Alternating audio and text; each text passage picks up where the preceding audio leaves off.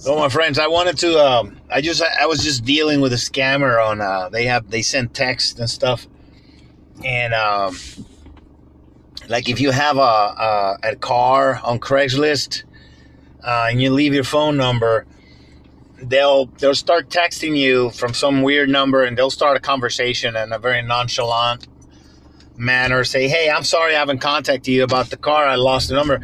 It's just want to.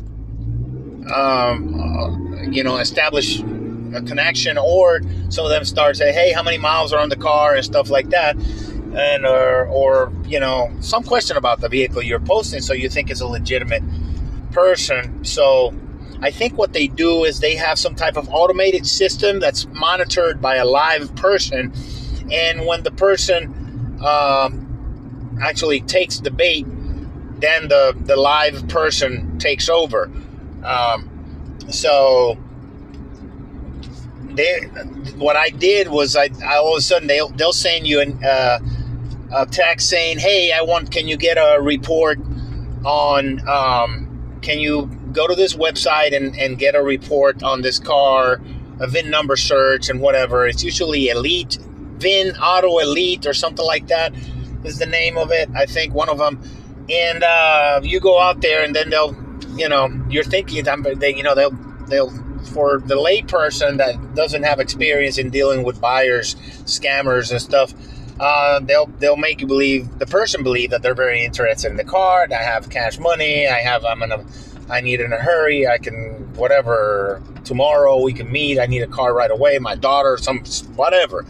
Uh, they they'll go into a script or whatever. They tell them what to say to trigger the person's interest, and the person, the seller, uh, some people would go into this website and they'll um, they'll you know they'll enter the information of the car and they'll you know get charged for for a uh, report on the vehicle.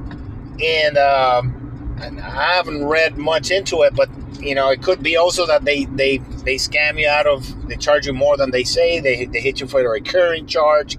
It's a scam. So and a percentage of those people of the people will not um, there's a percentage of the people who do buy into it, who do fall do fall for the scam, that will, um, you know, will just let it go and just oh fuck it, I got a report out of it. So, so those that's where how they make the money.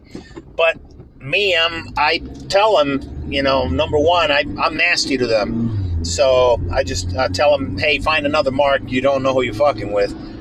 And um, then when they go after that, that triggers your answer triggers an automated response. And so what I do if it's via email, I'll just take pictures of the crack of my ass or my testicles or something, and I'll send it to them. Uh, picture on the email if I'm on my phone, and uh, they usually they if it's on a text on this scammer programs they don't they don't accept pictures. Uh, but they, if they give you an email, uh, you can send them the pictures via the email, um, and then I'll curse them out and tell them go fuck your mother or something like that, or swallow my cum, and uh, start going really dirty on them, and or call them a cunt or an asshole or a piece of shit, whatever. I'll just insult them to trigger them, and then usually that's when when uh, when a person takes over uh, and say, "Hey, whoa, wow, language! Please, please mind the language?" And and then just to make you think that it's an actual person, it's an actual person actually probably answering that uh, when they say that, and um, then then you can start going deeper into insults and into usually sexual explicit insults and stuff. You can send them like bestiality, you know, animal human porn and then I send them sometimes, you know, like really old people, uh, you know, I mean, like nasty, nasty people that don't that you have to have a fetish for for you to be turned on with. Otherwise, you're gonna, you know, probably go, you know, when you see the the clip. So I send them those clips, and they usually stop about about the time when I tell them tell them if if they would like me to send pictures of me fucking their girlfriend or in the ass So, uh, but then I'll, I'll I'll close with, "Hey, where did you go?" I was just beginning to have fun, and they usually don't contact you back. So, hey, that's a good idea. I think uh, I'm not a lawyer, and this is not legal advice.